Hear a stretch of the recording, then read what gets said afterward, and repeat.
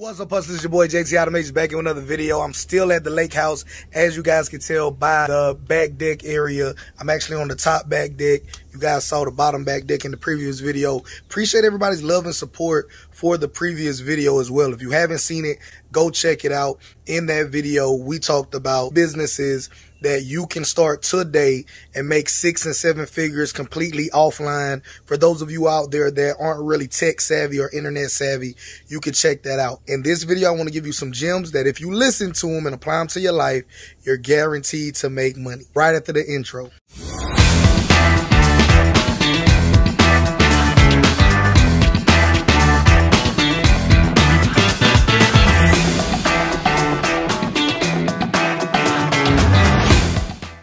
Listen to me, I'm going to teach you how to make a lot of money. That's what everybody on the internet says, right? Those of you that have been rocking with me from day one, you know I pride myself in practicality. But for the benefit of the new people, again, this is not the brag or the boast, but I know some people, this might be the very first video you're watching of mine. I'll put my total for today right here on the screen so you guys can see it. This amount of money and more is what you can make each and every day. This is just one of my income streams. You guys know I'm the king of multiple streams of income and encouraging encouraging you to diversify thyself or diversify your incomes as well. But just so you guys know who you're talking to. And is this somebody that's actually making money? And this is not YouTube money. For those of you that have YouTube channels that are monetized, you already know this is not what the back end of YouTube looks like. I'm a practitioner that actually makes money off of applying the information that I tell you. Are these videos monetized? Yes. But I also get paid by applying the information that I'm teaching you to do as well, right? That's my quick disclaimer for the new people. But for the people that have been rocking me for a while, you already know what it is. Highly recommended that you start off with your customer before you even start thinking of what product or service you want to sell. Because once you know who your customer is, then you can identify what product or service will give them the most value. Then whatever product or service you develop with them in mind becomes easier to sell. Far too many people will create a product or service they want to sell and then force it down somebody's throat. And then they get upset when that man or woman says, I don't want it.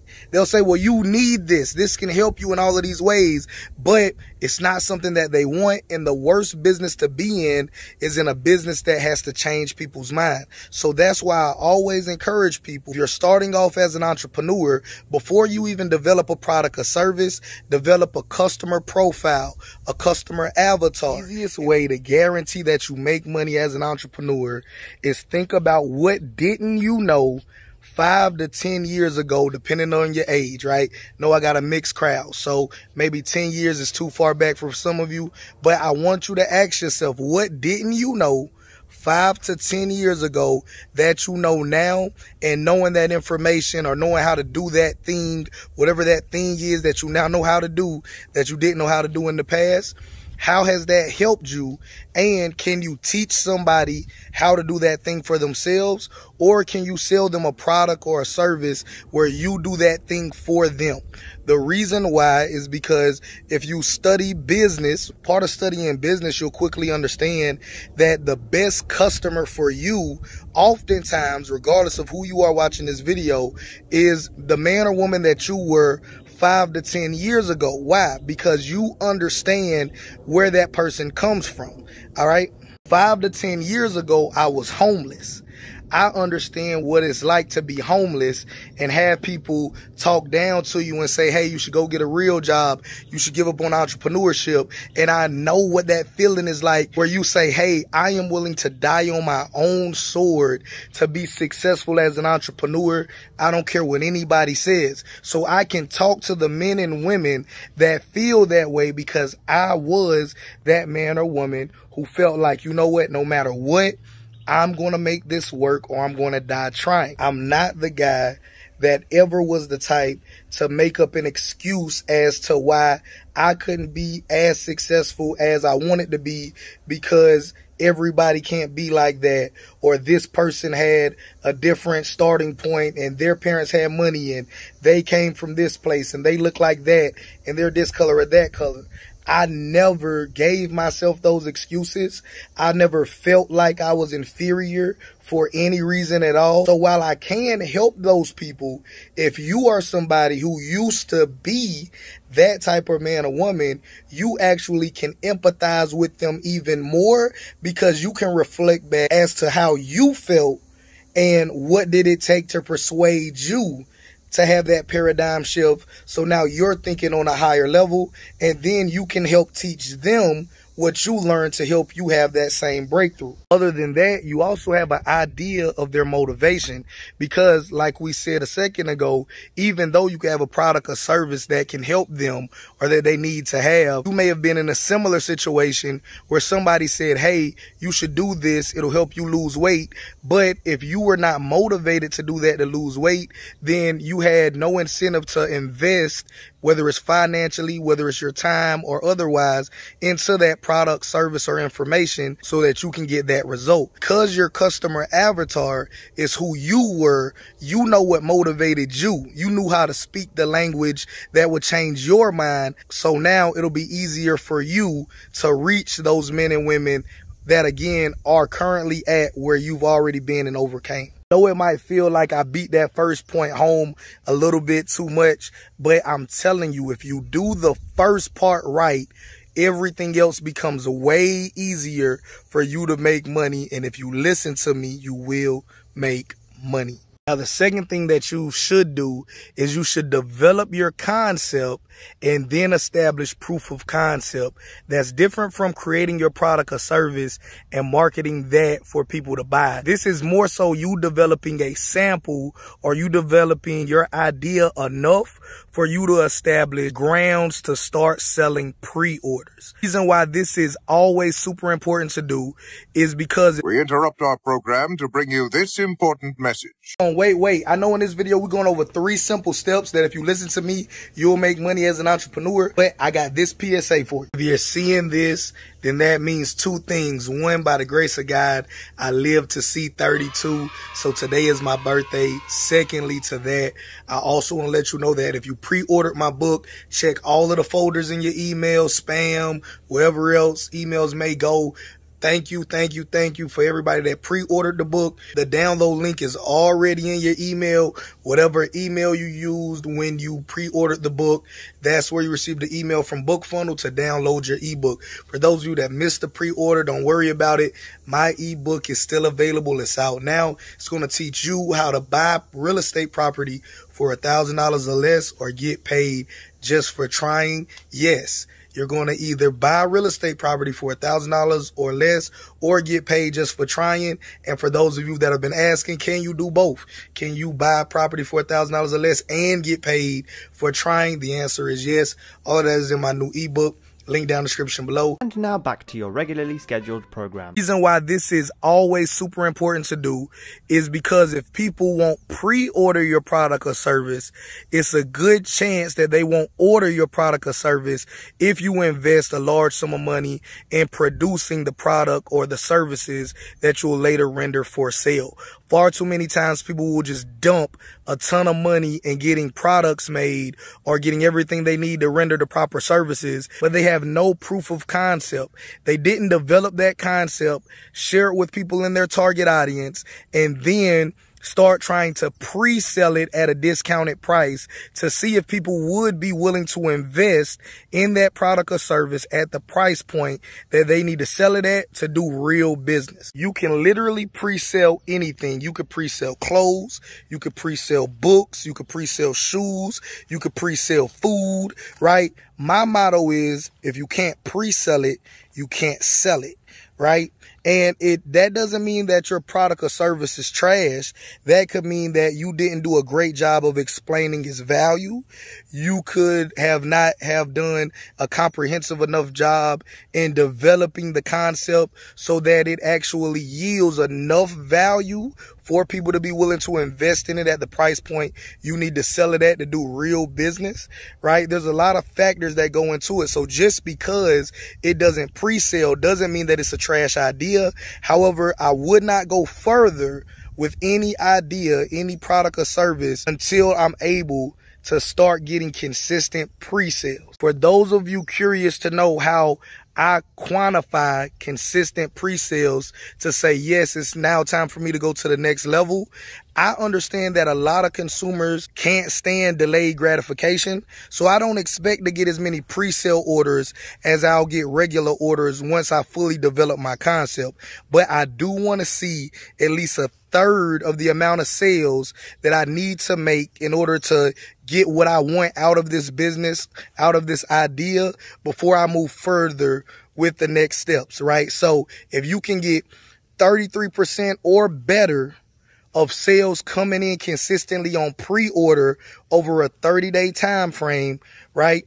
Then I would say now you've developed a strong enough concept and established enough proof of concept to move forward and use that money that you raised in pre-sales to invest back in your business to finish developing that product, that service, and start getting your business off the ground. Third and final tip that I have for you is for the first eight months of your business, live as if you haven't made any money in your business. What I mean by that is that yes, you're going to continue to pre-sell items until you develop a proof of concept strong enough to yield you 30%, 33% at a minimum of the amount of sales you would like to have come in.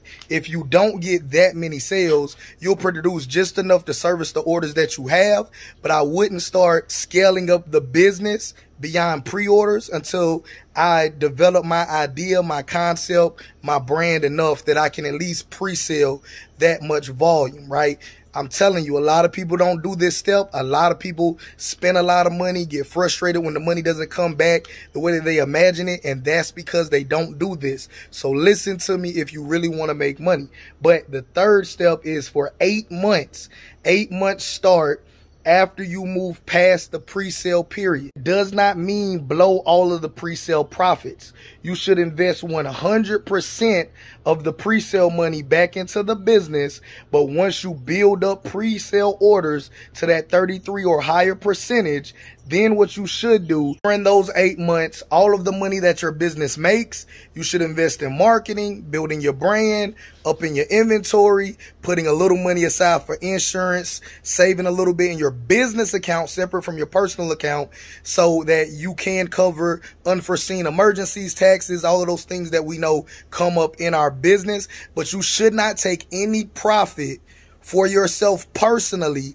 I don't care how much time and effort that you put in up until you cross over eight successful months in business. The fact that you may not know the majority of businesses go out of business because they never get their customer acquisition costs above the lifetime value of their customer. What that means in layman's terms is that they spend more money marketing than they make off of a customer. They spend $100 on Facebook ads to sell somebody a $20 shirt. They didn't make $20, they lost $80. So what you're doing in that eight months is building up a brand, retargeting those happy customers and making them repeat customers and selling them more and more of your products and services upselling them, turning them into super fans, advocates, and affiliates of your brand, and not just pulling money out starving your business as the term is called. Somebody like me that comes from a low income environment, as soon as you see your first $10,000 in profit, you might say, hey, it's time to reward myself.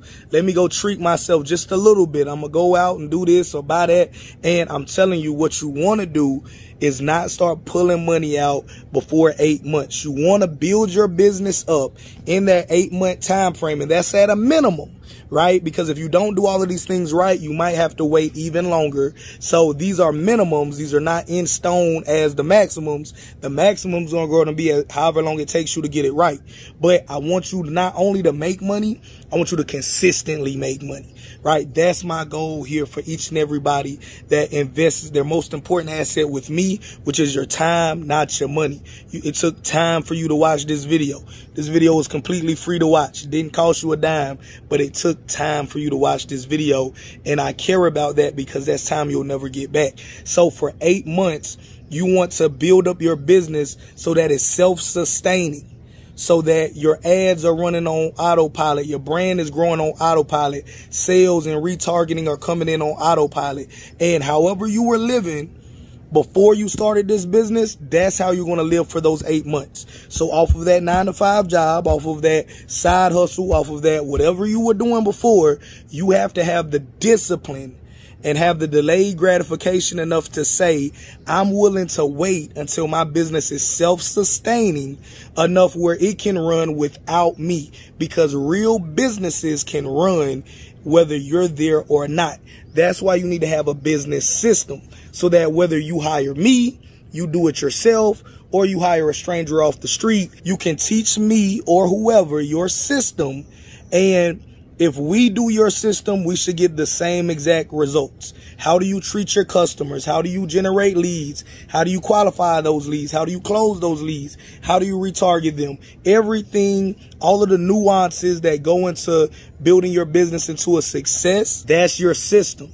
And that's what you're going to be learning figuring out and documenting during these eight months while you live off of the same amount of money you were living off of prior to starting this business.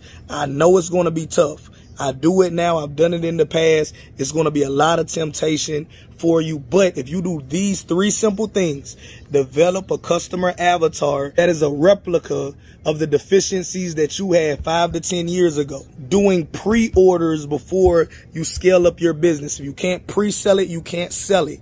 And third, once you qualify that concept, you develop enough proof of concept behind that idea, the clock starts there. And for a minimum of eight months, you don't take a dime of profit from your business. Instead, you invest all of that money back into the business to build systems, whether it's software, hiring people, or whatever it is, based off of the needs of your business, right? Build that so that your business is self-sustaining. And then after eight months, not only can you take profits, you could take a vacation, right? Far too many people, they'll build highly successful businesses. They can never go on vacation. Heaven forbid they ever get sick because the money stops when they stop. That's not real business, right? I've been there before and because I went through that, I want to try to encourage you all as to what you can do that I wish I would have done differently because it would have saved me a lot of time. I would have made more money. I would have been a better entrepreneur for it. And I want you to not make my mistakes. That's why I'm giving you this game in each and every video, right? Final thoughts for anybody that watched the video this long.